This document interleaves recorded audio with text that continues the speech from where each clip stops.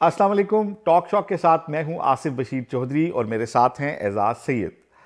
आज हम बात करेंगे तीन अहम मौजूद के ऊपर, जिसमें पहला इशू वो है जब मीर अली में दहशत गर्दी की कार्रवाई की गई, पाकिस्तानी फ़ौज के अफसरान और जवानों को शहीद किया गया। तो जवाबी कार्रवाई में अफ़गानिस्तान के अंदर मौजूद दहशत गर्दों के ठिकानों के अंदर जाकर जो पाकिस्तान ने कार्रवाई की एक तो हम आज इसके ऊपर बात करेंगे, इसकी डिटेल्स बताएँगे आपको। और इसके ऊपर जो वक्त से पहले एक एजाज़ ने ये स्टोरी ब्रेक की थी, उसके ऊपर भी बात करेंगे। दूसरे नंबर पर बात करेंगे सबक D G I S I Faiz Hameed जो हैं, उनके भाई नजफ़ जो हैं उनको आज रावलपिंडी से गिरफ़्तार किया गया है।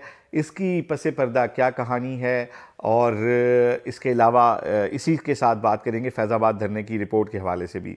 और तीसरे नंबर के ऊपर हम बात करेंगे फैसलाबाद में पाकिस्तान की खिदमत करने वाले हमारे दो मसीही सपूतों ने जो जान का नजराना दिया, उसके ऊपर बात करेंगे, लेकिन उससे पहले हम आपके पैगाम भी इस प्रोग्राम में शामिल करेंगे। तो सबसे पहले बात करते हैं एजाज़ के साथ। एजाज़ ये जो मीर अली में हमारे शहदा के साथ जो दहशत गर्दी की गई, उसके बाद जो अटैक हुआ तो आपने रात ही को ये खबर जो है वो ब्रेक कर दी थी कि जो है पाकिस्तान की जानब से जो है अब जो है अंदर घुस के जो है वो कार्रवाई की जाएगी। तो ये क्या मालूम हैं? ज़रा इसकी डिटेल्स बताएँगे आप। अच्छा आसिफ, मैं क्विकली पूरे जो वाक़ है ना, उसको समराइज़ कर देता हूँ। आपको पता है पाकिस्तान और अफ़गानिस्तान के दरमियान एक टेंशन की फ़िज़ा है। बिलखसूस ये टेंशन की फ़िज़ा उस वक्त से ज़्यादा एस्केलेट की हुई है जब से अफ़गानिस्तान में पंद्रह अगस्त बीस सौ इक्कीस से तालिबान की हुकूमत आई है। और ये क्यों की हुई है? वो इस वजह से की हुई है कि तालिबान की जो हुकूमत है अफ़गानिस्तान में, उसने वहाँ पर कालदम टीटीपी और पाकिस्तान मुखालफ जो ग्रुप्स हैं, जो पाकिस्तान के ख़िलाफ़ काम करते हैं, उन, उनको पनाह दे रखी है। और वो वहाँ से बैठ के यहाँ पर कार्रवाई करते हैं। पाकिस्तान ने इसके ऊपर काफ़ी शोर वगैरह मचाया डिप्लोमेटिकली भी बात हुई। माजी में भी एक आध दफ़ा पाकिस्तान ने अंदर घुस के कार्रवाई की, लेकिन मामला जू का तू है। अभी ताज़ा काम क्या हुआ है? ताज़ा काम ये हुआ है कि सोलह तारीख को, सोलह मार्च को पाकिस्तान के इलाके मीर अली में, नॉर्थ वज़ीरस्तान में एक दहशत गर्दी की कार्रवाई हुई, जो कि मिलिटेंट्स ने की हाफिज़ गुल बहादुर के जो अस्करी पसंद है, उन्होंने की, एक फ़ौजी चौकी, उसको निशाना बनाया गया, जो एक किले में थी बारूद से भरी गाड़ी वहाँ पर टकराई गई, फायरिंग की गई, जिसके नतीजे में पाकिस्तानी फ़ौज के सात जो जवान हैं, वो शहीद हुए। उसमें एक लेफ्टिनेंट कर्नल और एक कैप्टन भी शामिल थे, सिपाही थे हमारे। उन्होंने जवान मर्दी से ज़ाहिर है, इस सारी सूरत हाल का मुकाबला किया, लेकिन वो शहीद हुए। जवाब में छः के करीब जो अस्क्रियत पसंद हैं, उनको भी निशाना बनाया गया, लेकिन ये मामला रुका नहीं। सत्रह तारीख सत्रह मार्च की तारीख वो बड़ी अहम है। सत्रह मार्च की तारीख इसलिए अहम है कि इन शहदा का जनाजा था जिसमें पाकिस्तान के जो सदर हैं आसफ अली जरदारी वो भी नज़र आए जिसमें army chief general Asim Munir वो भी नज़र आए और फौजी क्यादत जो बाकी थी वो भी थी। और आप वो तस्वीर देखें बड़ी सिम्बॉलिक तस्वीर है।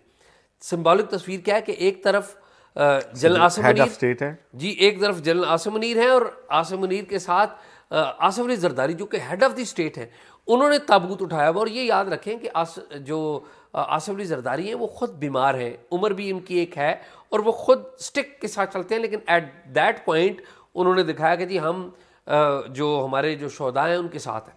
तो खैर ये जो सत्रह मार्च के मनाजर थे और उसी एजाज उसी, इसी में ना आप देखें कि आ, आर्मी चीफ सबका भी जो आते थे ना वो जनाजों में हिस्सा लेते थे।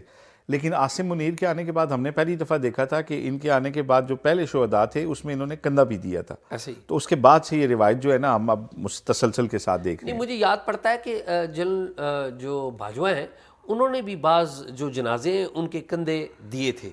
ये ये और मेरा मुझे मुझे अब वो लेकिन आसिम मुनीर जब आए ना तो इन्होंने एक तो इनकी दो तीन जो पहली तस्वीरों में मुझे याद है ना एक तो वो जो ये अपने हाँ। कमांडो को वो कर रहे हाँ थे थपकी और फिर ये कंधे वाली तो ये बड़ी नक्श हुई थी। ये बड़ी ये अहम है देखिए ये ऑप्टिक्स बड़े अहम है। और देखे ना जो भी तो फिर आप बात कर रहे थे सॉरी मैंने हाँ मैं मैं coming coming back to the point कि ये ये सिंबॉलिक होती है कि आपका जो कमांडर है ना मिलिट्री कमांडर वो अपने कैसे ले रहे हैं इसको किस तरीके से सीरियस ले और आप अगर देखें ना आसम मुनीर साहब का उसमें जो चेहरा है लैंग्वेज है। वो बड़ा वो बॉडी लैंग्वेज बता रही है कि ही इज़ वेरी इमोशनल और वो उस मामले को बड़ा सीरियस ले रहे हैं। और ज़ाहिर है उन्होंने सदर से बात की होगी जो कि कमांडर इन चीफ भी हैं मुसल्ह अफवाज के। और उसी हवाले से अठारह मार्च की सुबह आज सुबह बन जाती है अलग सुबह ये कार्रवाई की गई है। और खाली ये कार्रवाई नहीं हुई। यानी 24 घंटे के अंदर within twenty four hours दो जो सूबे हैं उनको निशाना बनाया गया अफ़गानिस्तान में एक तो खोस्त को बनाया गया और एक पक्तिका को बनाया गया, जहाँ पर इंटेलिजेंस मालूम थी कि इन जगहों पर हाइड आउट्स हैं इन मिलिटेंट्स की, और ये मालूम पहले से होती हैं। हमारे इंटेलिजेंस इदारे पहले से देते हैं। मुझे मुझे इस बात का आइडिया है कि दो जो इंटेलिजेंस इदारे हैं टॉप जो टेररिज्म के वाले से बहुत अच्छा काम करती है इंटेलिजेंस ब्यूरो आईबी जो है, उन्होंने आईबी ने और आईएसआई ने भी जो रिकमेंडेशन दी थी, वो यही दी थी कि आप इसका जो जवाब है, वो दें इन्होंने मालूम पहले से दे रखी हुई है कि किन किन जगहों पर कार्रवाइयाँ करने की ज़रूरत है या किन किन जगहों पर वो उठते बैठते हैं। लेकिन आ, अब वो वहाँ पर मिलिटेंट्स निशाना बने या नहीं बने ये एक अलग बात है लेकिन एक सिम्बॉलिक इसकी वैल्यू बड़ी है ठीक है? अच्छा एक तो ये काम हो रहा है। एट द सेम टाइम आपको पता है सोशल मीडिया के ऊपर बाज़ लोगों ने हमारे जो पाकिस्तान के जो जवान हैं उनका मज़ाक उड़ाने की कोशिश की फ़ौज का मज़ाक उड़ाने की कोशिश की। अब देखिए फ़ौज के सियासी किरदार के हम अलान मुखालफ हैं। आप की भी राय वही है जो मेरी राय है, या और कोई किसी भी शख्स की राय है। लेकिन जब फ़ौज के जो जवान हैं वो पाकिस्तान की हिफाजत के लिए कुर्बानी दें तो मेरे ख्याल में हम कभी भी मज़ाक नहीं उड़ाएँगे, बल्कि उसमें हम वो बात करेंगे जो जो पाकिस्तान के लिए और पाकिस्तान के लोगों के लिए बेहतर है। और वो यही है कि ऐसे लोग, ऐसी ऐसी जो कार्रवाई है, उनके ऊपर साथ खड़ा होना चाहिए, ना कि हम उसका मज़ाक उड़ाएँ। लेकिन मुझे लगता ही है ज़ाती मेरी राय है कि इसमें कुछ बॉट्स भी हैं और शायद पीटीआई के साथ जुड़े हुए भी बाज़ लोग हैं। मैं नहीं कहता कि पीटीआई की अपनी पॉलिसी है लेकिन होता है ना बाज़ शाह से ज़्यादा शाह के वफादार वो लोग भी बाहर से बैठ के ये काम आ, कर रहे हैं। एजाज इसमें दो तीन चीज़ें ना एक तो बुनियादी चीज़ ये है कि फ़ौज के सियासी किरदार पे तो आप तनकीद कर सकते हैं लेकिन जो बंदा गन लेके बॉर्डर पे खड़ा है वो तो पाकिस्तान का सबसे मोहतरम इंसान है सबसे मोहतरम शहरी है सबसे मोहतरम हमारे लिए सबसे मोहतरम इंसान वही है जो पाकिस्तान के दिफा के लिए अपनी जहान हथेली के ऊपर लेके खड़ा है। और उसका इस बात से और पॉलिसी मेकिंग से भी तल्लक नहीं है कि सियासत में क्या हो रहा है और वो। तो मेरा ये ख्याल है कि वो और ये सारे वही लोग हैं जो एक आम पाकिस्तानी शहरी हैं आपके हमारे भाई बेटे भतीजे ये वही लोग हैं और और ये पाक सिर्फ़ और सिर्फ़ दिफा कर रहे हैं वतन का। तो मेरा ख्याल है उनके ऊपर तो आपको पॉलिटिक्स नहीं करनी चाहिए ऐसे, ऐसे। अच्छा एक एक तो ये हो गया दूसरा ये है कि वजारत खारजा ने बड़ा एक अहम बयान दिया है। पाकिस्तान का बयान है वो। वजारत खारजा ने क्या कहा उन्होंने कहा कि जी, एक तो हमने सुबह अफ़गानिस्तान के अंदर सर्दी इलाकों पर इंटेलिजेंस बुनियादों पर कार्रवाई की है और ये कार्रवाई हमने किन के ख़िलाफ़ की है? हाफिज़ गुल बहादुर के ख़िलाफ़ की है और उस ग्रुप के ख़िलाफ़ की है। क्यों की है? उस सवाल का भी जवाब दिया है कि ये जो ग्रुप है और टीटीपी से मुंसलिक जो ग्रुप है, वो पाकिस्तान में दहशत गर्दी कर रहे हैं। हाफिज़ गुल बहादुर जो है ये नॉर्थ वजीरस्तान में थे और आपको याद है कि 2007 में जब टीटीपी बनी थी तो टीटीपी जब बनी थी ये उसके नायब थे। बैतुल्ला महसूद ने इन्हें नायब बनाया था लेकिन इन्होंने टीटीपी से भी अपना एक फासला बरकरार रखा था और इंडिपेंडेंटली पाकिस्तान की स्टेट से भी रबते में थे। यानी कि पाकिस्तानी खुफिया इदारों से भी इनका ताल्लुक वास्ता था और ये किसी ज़माने में गुड तालिबान के तौर पर भी जा, जाने जाते थे। फिर वक्त बदला एक लंबी बात है तो ये गुड तालिबान से बैड तालिबान हो गए अब तो गुड और बैड की जो तकसीम है वो ख़त्म हो गई है और ये जो तकसीम शुरू में ही थी, वो ही गलत थी कि हम सब, हमारी एक पॉलिसी थी रियासत की और गलत पॉलिसी थी कि जी कुछ अच्छे तालिबान हैं जो हमें नुकसान नहीं पहुँचाते, कुछ बुरे तालिबान हैं। हालाँकि जो अच्छे तालिबान हैं, वो बुरे तालिबान को शेल्टर देते थे, ठीक है ना? तो अब हुआ यह है कि हाफिज़ गुल बहादुर जो है, वो उधर बैठे हुए हैं।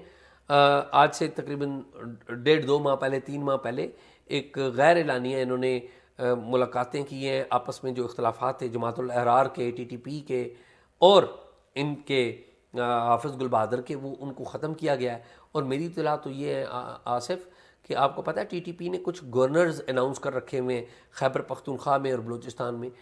पेशावर की गवर्नरशिप और एक दो इलाकों की गवर्नरशिप भी इस माहे के तहत जमातुलहरार और दीगर ग्रुपों को दी गई है। यानी कि बामी अतमाद साजी की। अब पाकिस्तान ने कार्रवाई कर दी है। उधर से अफ़गानिस्तान का भी बड़ा सख्त बयान आया। उन्होंने अफ़गानिस्तान की हुकूमत के तर्जमान ने कहा है कि जी, इसके जो कॉन्सिक्वेंसेज हैं, इनका ज़िम्मेदार जो है वो पाकिस्तान होगा। अब आगे होगा क्या? ये अहम बात है। मुझे ये लगता है कि अब जो अफगान तालिबान है, वो टीटीपी की खुलकर हमायत करेंगे।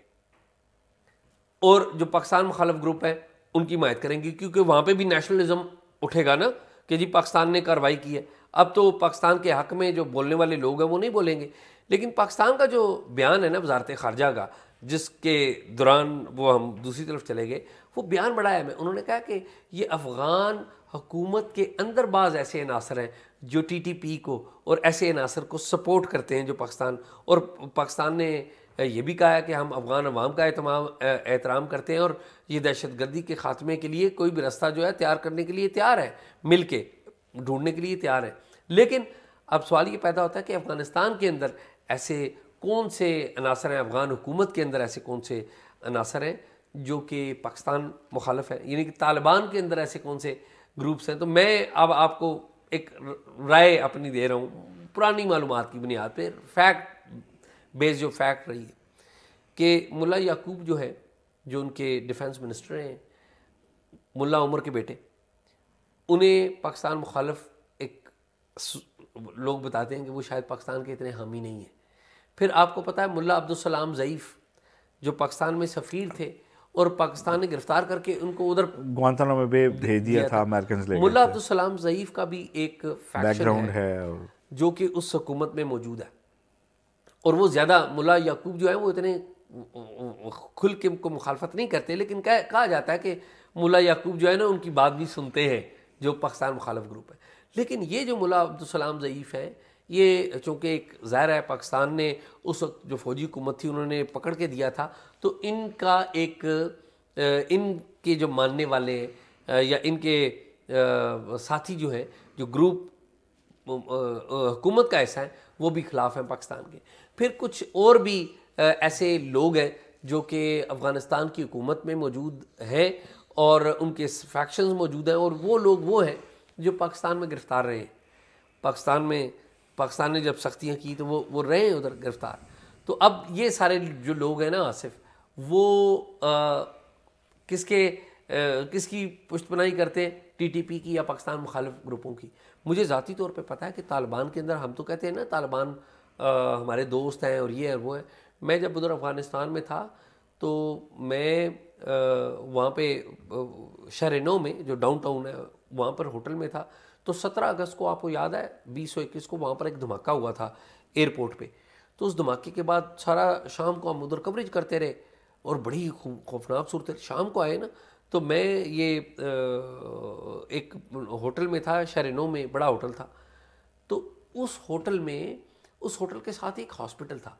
तो मैं उधर जाने लगा तो वहाँ पर जो तालिबान थे, उनको मैंने तारफ़ करवाया। लंबी बात है, मैं शॉर्ट करके बता रहा हूँ। और मैं उन्हें कह रहा था कि मुझे जाने दें, क्योंकि मैं तो जर्नलिस्ट हूँ। मेरे साथ एक टर्किश जर्नलिस्ट भी थे। तो उन साहब ने, जब उन्होंने पता, मैंने बताया ना कि मैं पाकिस्तान से उन्होंने गन मेरे ऊपर सीधी कर ली। क्लाशन कोफ अपनी लोड करके मेरे ऊपर सीधी कर ली कि तुम पाकिस्तानी हो, मैं तुम्हें फायर कर दूँगा। तो वो पाकिस्तान, यानी कि हम तो ये कहते हैं कि तालिबान बड़े पाकिस्तान दोस्त हैं। तालिबान के अंदर भी ऐसे लोग मौजूद हैं सारे तालिबान नहीं, तालिबान के अंदर ऐसे लोगों की तादाद बड़ी मौजूद है जो पाकिस्तान के सख्त मुखालफ है। और वही लोग सपोर्ट देते हैं ऐसे ग्रोहों को, ऐसे ग्रुपों को जो पाकिस्तान में कार्रवाई करते हैं। और तालिबान का एक ओवरऑल माइंड सेट भी है ना, कि हमने जिस तरीके से अफ़गानिस्तान कब्ज़ा किया है, उसी तरीके की, उसी तरह की ये कार्रवाई जो है, ये टीटीपी और बाकी ग्रुप्स भी करें और पाकिस्तान का जो कैपिटल है, इस्लामाबाद, वो कब्ज़े में लें। आल कि उसे कामयाब होना बड़ा मुश्किल है, लेकिन ये आंदा आइंदा आने वाले दिनों में ये मामला एस्केलेट करेगा, बढ़ेगा, लेकिन इसको एस्केलेट नहीं होना चाहिए ओवरऑल मेरे ख्याल में इसका कोई हल निकलना चाहिए तो मेरे, मुझे, मेरा ख्याल तो ये मैं समझता हूँ कि इसमें वो जो माजी में हमारी पॉलिसियाँ थी ना, वो भी क्योंकि आप देखें कि तालिबान जो जनरल ज़िया साहब के दौर में वो जो एक वार लड़ी गई अमेरिकन स्पोर्ट के साथ और फिर जनरल मुशर्रफ के दौर में जो वारन टेरर लड़ी गई। आप ये देखें कि इसमें कोई नेशनल हमारी डिबेट नहीं हुई। इसमें कोई हमारे सारे स्टेक और होल्डर्स को ऑन बोर्ड नहीं किया गया। इसमें हमने कोई मुल्क के लिए अपने मफादात हासिल नहीं किए, पाकिस्तान के लिए। बल्कि इसमें शख्सी मफादात हासिल हुए। इसमें अपनी हुकूमतों को वैलिडेट किया गया। इसमें जो पैसे आए उनके ऑडिट के ऊपर भी बड़े सीरियस ऑब्जेक्शन हैं। तो ये वो पॉलिसियाँ हैं माजी की जो डिक्टेटर्स ने इख्तियार की थी और उसका नतीजा आज पूरी कौम भुगत रही है। और मेरा ख्याल है कि अब इसके ऊपर एक नेशनल डिबेट पिछले अरसे में काफ़ी इसके ऊपर वैसे काम हुआ है। लेकिन अब जो है एक जो डिबेट के बाद जो एक पॉलिसी हमारी ये सामने आई है काफ़ी हद तक इसमें स्टेक होल्डर्स को लाने के बाद अब मेरा ख्याल है अब इसमें कोई बदलाव नहीं आना चाहिए और हमारी एक एक पड़ोसी ममालिक के साथ बिल्कुल एक ऐसी होनी चाहिए कि जिसमें हमारा कोई इंटरफेरेंस इस बुनियाद पे ना हो कि हम अपनी कोई स्ट्रेटेजिक डेप्थ बनाने जा रहे हैं और क्या करने जा रहे हैं क्योंकि उसका हमने फॉल आउट देख लिया कि पाकिस्तान के मफाद में नहीं निकला। और आज हमें वो जंग जो पहले हम अमेरिका के साथ मिल के लड़ रहे थे आज हम वो अकेले लड़ रहे हैं। और हमारी इकॉनमी इसकी शायद इजाज़त ना देती हो तो ये सारी चीज़ें अच्छा, दो बातें और। जी। कि और फर्दर क्या हो सकता है? आपको पता है कि पाकिस्तान ने नवंबर के महीने में एक पॉलिसी मुतारफ़ करवाई थी कि गुज्त साल नवंबर में कि जी हम आ, जो अफ़गान महाजरीन हैं उनको निकालेंगे। अब जुम्मे के दिन आ, एक मीटिंग हुई है वजारत दाखिला में उसमें अफ़गान महाजरीन को निकाले निकालने के लिए एक नए फ़ेज़ के ऊपर भी गौर किया गया है। पंद्रह अप्रैल अभी तजवीज़ की गई है पंद्रह सोलह अप्रैल को अभी नोटिफाई नहीं हुआ लेकिन पंद्रह अप्रैल की तजवीज़ की गई कि पंद्रह अप्रैल से एक नए फ़ेज़ का आगाज़ करें। यानी कि अब आ, मुझे लग रहा है ये जो टेंशन पैदा हुई है उसकी वजह से पाकिस्तान में मौजूद जो अफ़गान शहरी हैं उनके ऊपर एक और कड़ा वक्त आएगा और इनको धकेलने की कोशिश करेंगे। मैं ज़ाती तौर पर इस पॉलिसी के हक में नहीं हूँ। मैं नहीं समझता कि ये मसले का हल्का है लेकिन ये होगा ऐसे ही किया ऐसे जाएगा। एक तो ये करेंगे दूसरा और क्या कर सकते हैं? कुछ दिनों के लिए मुझे लगता है कि पाकिस्तान और अफ़गानिस्तान की ट्रेड है वो बंद कर दी जाएगी। ऑलरेडी ट्रेड के बड़े मसाइल चल रहे हैं। सरहद के आर पार जो बहुत सारे अफ़गान जो है बिजनेसमैन उनका बड़े मसाइल पैदा हुए हुए हैं। फिर पाकिस्तान में डाटा इकट्ठा किया जा रहा है उन अफ़गान शहरीों का जिनकी यहाँ पे प्रॉपर्टीज़ हैं या जिनके बैंक अकाउंट्स हैं।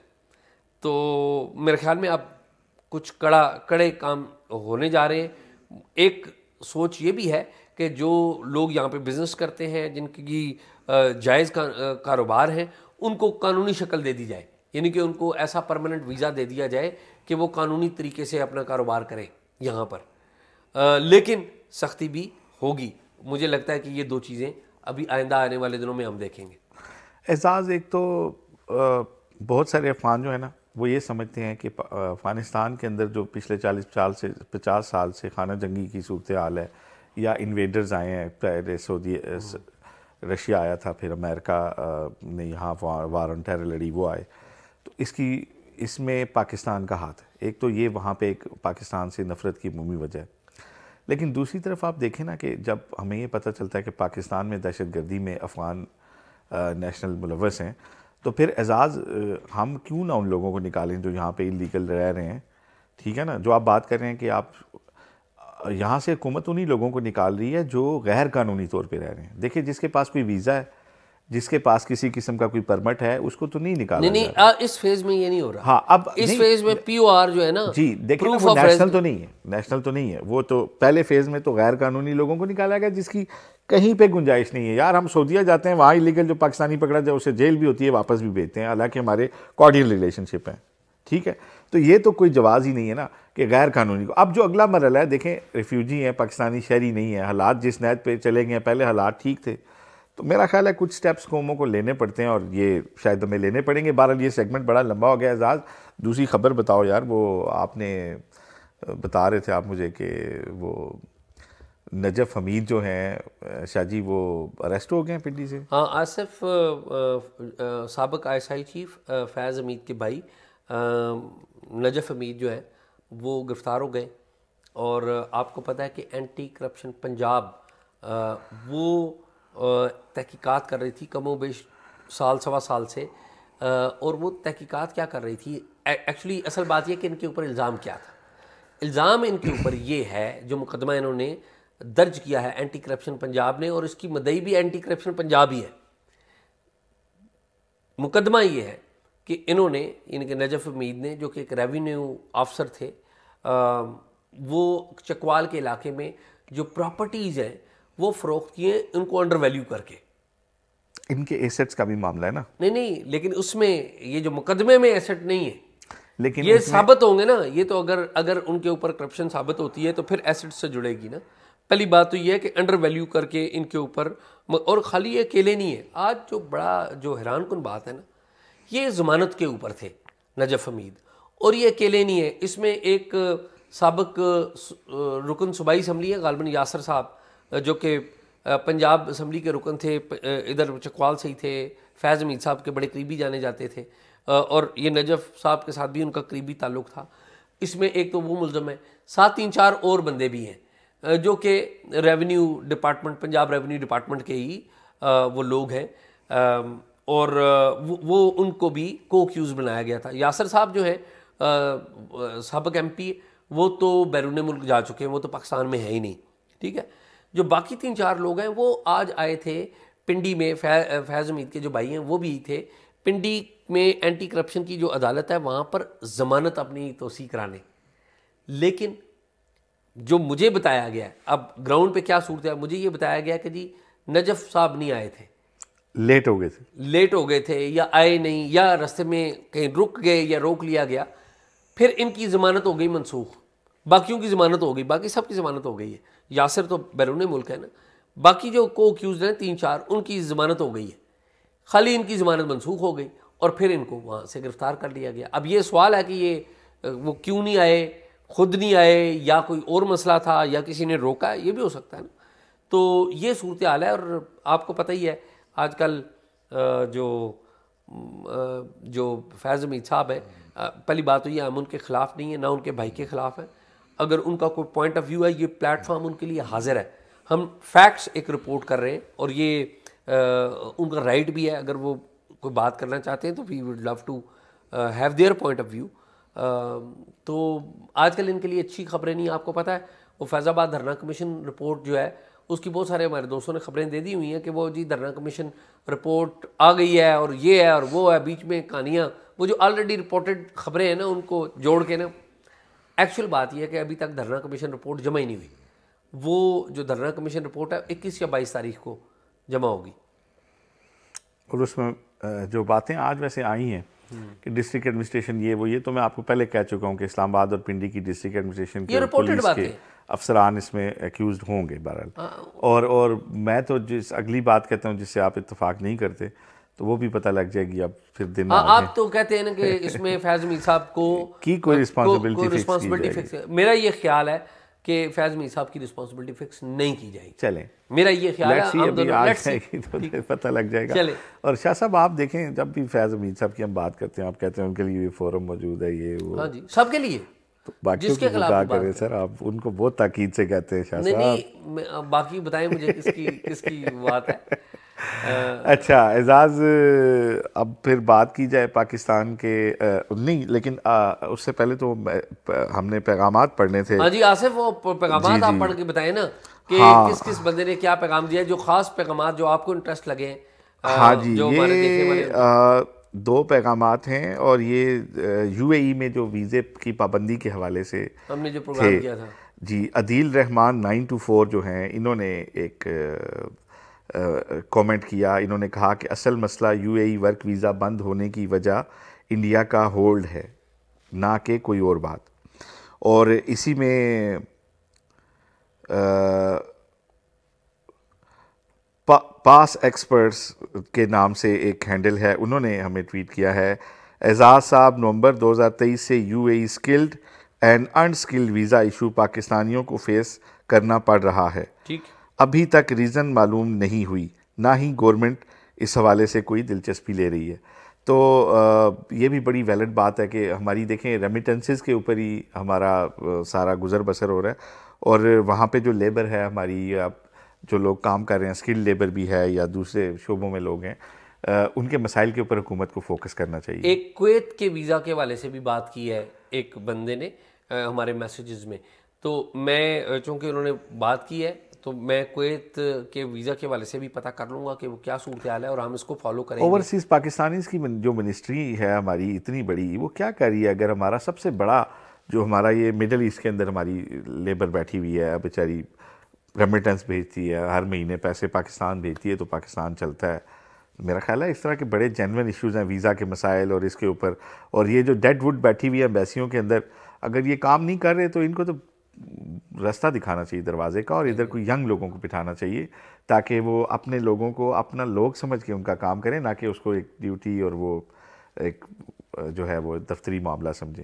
तो एजाज अब आखिर में मेरा ख्याल है कि इस पर कुछ ऐड तो नहीं करना नहीं मेरे ख्याल में कुछ कोई हाँ, नहीं तो वो आप बता रहे थे यार वो जो हमारे जो दो अजीम सपूत हैं पाकिस्तान के बेटे जो क्रिश्चियन बच्चे जो पाकिस्तान की खिदमत करते थे उन्होंने अपनी जानों का नजराना दिया। फैसलाबाद में ये क्या वाक्य था? आसिफ मैरी जेम्स गिल है। ये एक इंसानी हकूक़ की एक्टिविस्ट है ह्यूमन राइट्स एक्टिविस्ट हैं वकील हैं लाहौर में होती हैं। इनका इनके साथ एक आसिफ साहब भी होते हैं ये एक अदारा चला रहे हैं बड़ा ही ज़बरदस्त। मैरी जेम्स गिल ने आज एक ट्वीट की है। आ, ट्वीट मैं पढ़ दूँ तो ज़्यादा अच्छा है। प्लीज़। इन्होंने मरीम नवाज़ साहबा को मुखातब किया। इन्होंने कहा, काबिल एहतराम वज़ी अला पंजाब जनाब मरीम नवाज़ साहिबा, आपने अपनी पहली तकरीर में फरमाया था कि अकलीतें आपके सर का ताज हैं। मैं आपको इंतहाई दुख और तकलीफ़ के साथ बताना चाहूँगी कि आज पंजाब के शहर फैसलाबाद में दो मसीही नौजवान, आसिफ वल्द इलियास मसीह और शान वल्द मुश्ताक मसीह, एक मरकी के नज़दीक 25 फिट गहरी sewer line sewer sewerage line में सीवरेज लाइन साफ़ करते हुए जहरीली गैस के बायस मौत के घाट उतर गए। याद रहे कि इस तरह के अंदरनाक इस तरह की अंदरनाक मौत का पहला वाक्य नहीं लेकिन मुझे उम्मीद है कि आप हमारे इन सफ़ाई करने वाले हीरोज़ की माओ को इंसाफ दिलवाएँगे और ऐसे इकदाम यकीनी बनाएँगी जिनसे पंजाब को साफ़ सुथरा माहौल फ्राहम करने वाले हमारे मसीह बहन भाइयों को भी इंसान समझा जा सके और सेफ्टी के आलात के ज़रिए इनकी जानों को तहफ़ फ्राहम किया जाए। आपकी तोजह की मुंतज़र, आसिफ और शान की माएँ। कि मैं ना इस, ये जो कैंपेन चला रहे हैं आसिफ साहब और मैरी जेम्स गिल, मैंने इस कैंपेन में गया हूँ और मैंने देखा है कि ये वो लोग हैं जो जेनवनली सेल्फलेस होकर इस मुल्क की खिदमत कर रहे हैं। हम गंदगी करते हैं, फैलाते हैं और ये लोग सफ़ाई करते हैं और जुल्म देखें कितना है। जुल्म देखें कि जिला लेवल के ऊपर अब फैसलाबाद रिच जिलों में शुमार होता है पंजाब पंजाब का दूसरा बड़ा शहर है रिच जिलों में। लाहौर के बाद सबसे बड़ा शहर फैसलाबाद। लेकिन अमीर जिलों में अमीर जिलों अमीर जिलों में। फंड्स वहाँ पर सीवरेज की लाइनें साफ़ करनी है और इन लोगों को आपने सेफ्टी के हालात नहीं दिए वो जाते हैं यार ये इतना और गैस में है। देखें ये इतना अफसोसनाक है ये सही लिखा है इस बहन ने। कि ये पहला वाक़ नहीं है। आप मुझे बताएँ ये अक, मैं अक्सर ये पढ़ता हूँ और यहाँ पे पाकिस्तान में मज़दूर की ज़िंदगी की कोई अहमियत कोई हैसियत नहीं है। ये क्यों इन लोगों को सेफ्टी मास्क नहीं दिए जाते? ये अक्सर इन कुएँ में उतरते हैं सफ़ाई के लिए उनकी डेथ हो जाती है नीचे जहरीली गैस गटर में बंदे उतरते हैं और ये ऑब्वियस होता है कि इसमें गैस होगी उसमें एस होती हैं उसमें वो जो है ना एग्जॉस्ट लगाए जाते हैं ताकि अगर जो गैसेज हैं वो पास हो जाएँ। उसके अलावा फिर इनको मास्क इन, इनको देने चाहिए ताकि आप जब जाते हैं तो कम अज़ कम आप इतनी बड़ी सर्विस कर रहे हैं आप उस कौम के लिए वो काम कर रहे हैं जो दूसरे लोग नहीं कर रहे। तो आप कम अज़ कम यार उन्हें अगर सेफ्टी आलात नहीं दे सकते तो मैं तो समझता हूँ कि ये आ, आ, उनका अपना देखें उनके मज़हब में शहादत का फ़लसफ़ा है। मैं तो समझता हूँ ये इससे बहुत आगे का कुछ काम कर रहे हैं। ये हाँ। ये तो लोग वो हैं कि ये हमारे सर का ताज है इसमें कोई शक वाली बात नहीं है। पाकिस्तान को जो बंदे साफ़ कर रहे हैं जो हाथ पाकिस्तान को साफ़ करते हैं जो गंदगी को इसको साफ़ करते हैं मैं कहता हूँ कि वो सबसे मोहतरम हाथ हैं। पाकिस्तान का दिफा करने वाले हाथों की तरह के वो हाथ हैं जो पाकिस्तान को साफ़ करते हैं। और, और अगर हम उनको उनके उनके उनके लिए मिजरीज का बायस बंद है उनके अब अब इनके बच्चों को कौन संभालेगा? ये खबर आएगी कोई महकमे से पैसे मिल जाएँगे इनकी बेवाएँ इनके बच्चे सारी ज़िंदगी जो हैं वो एक सिंगल पेरेंट के साथ वो और कस्म पुरसी के आलम में रहेंगे। मैं समझता हूँ इससे बड़ा कोई जुल्म नहीं है। वज़ी अला ने नोटिस लिया अच्छा, मैंने मैंने पढ़ा इसका अच्छा, नोटिस लिया उन्होंने। लेकिन क्या ही अच्छा हो कि वो ऑर्डर करें कि आइंदा कोई बंदा मतलूबा जो फैसिलिटीज़ हैं उसके बगैर नहीं जाएगा और अगर किसी लेबर की जान इस मामले में गई ना तो वहाँ की जो सिविक बॉडी होगी उसका हेड जो है ना वो रिस्पॉन्सिबल है और आसिफ मैं तुम्हें एक और बात बताऊँ खाली मसला ये नहीं है। इन लोगों की तनख्वाहों का भी मसला होता है। जब भी ईद आती है, शब रात आती है, या जो इनकी, जो मसीही, ज़्यादातर इसमें मसीही हैं, वो लोग, और इन्होंने लिखा है कि कि जी ये हमारे अकलीतें, ये मैं इनसे इस बात से बड़ा इख्तलाफ, ये मसीही पाकिस्तानी है। इनको अकलीत कह के ना ये हम हाँ, तो इन करते हैं में। तो हम ये भी बड़ी ज्यादती करते हैं कि जब भी ये आते हैं ना तो खाकरूब और ये सैनिटेशन तो इसमें लिखा होता है जी मसीह। यानी कि आपने एक पाकिस्तान की एक मज़हब का क्या तल्लक होना चाहिए इससे जॉब से, से हाँ, मतलब आपने उसमें स्पेसिफाई कर दिया कि फ़लाँ मज़हब ही सिर्फ़ इसमें है पहले तो ये भी ज़्यादा है। इसके ऊपर भी कोई गौर होना चाहिए हम सब पाकिस्तानी पैसे मिलने चाहिए टाइम से। जी अब ईस्टर आया हुआ था देखें अब इनका एक त्यौहार है ईस्टर है और ये इनकी लाशें गई हैं जवान लोग हैं ये। तो मैं समझता हूँ कि इससे बड़ी कोई जो है ना मिजरी नहीं हो सकती। मैं तो मरियम साहिबा से भी और चारों वज्राए आला उन सबसे मैं अपील करूँगा प्राइम मिनिस्टर से अपील करूँगा कि इनके लिए बाकायदा इनकी तनख्वाहों का एक फुल प्रूफ सिस्टम होना चाहिए। इस्लामाबाद में हमारे हम देखते हैं कि ये जो सफ़ाई से मुंसलिक हमारे जो एन डी एम ए के साथ ये जो काम करते हैं, ये एहतजाज कर रहे होते हैं, इनको तनख्वाहें नहीं मिल रही होती। फैसलाबाद में कर रहे होते हैं, और भी बहुत सारी जगहों पे कर रहे होते हैं। सिंध में खैबर पख्तूनख्वा में बलोचिस्तान में भी मसाइल हैं इनके। तो इनको दें और इनको जो सेफ्टी गैजेट्स दें। मेरे ख्याल में काफ़ी मेरा ख्याल है एजाज़ इसमें एक लाइन और ऐड कर लें तो बस मेरे वो दिल में जो बात है कि हम हर साल जो एजाज़ात देते हैं ना तेईस मार्च पे भी देते हैं चौदह अगस्त पे भी और मुल्क के लिए बड़ी सर्विस करने वाले लोगों को देते हैं।